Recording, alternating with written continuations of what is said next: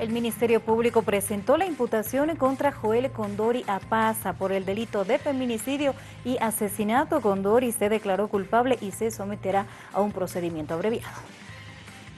Luego de una intensiva investigación sobre la muerte de una joven pareja, la policía detuvo a Joel Condoria Paza, quien era tío de la víctima y fue imputado por el Ministerio Público por el delito de feminicidio y asesinato. El acusado aceptó su culpabilidad y se someterá a un juicio abreviado que tendrá una pena de 30 años de prisión. Tengo información, él ha solicitado someterse a un proceso abreviado eh, a través de la Fiscalía y eh, todos los elementos de, juicio eh, han sido corroborados a través de un examen que se ha hecho y se ha llegado a esta conclusión y eh, el autor, como ustedes saben, ha aceptado su responsabilidad.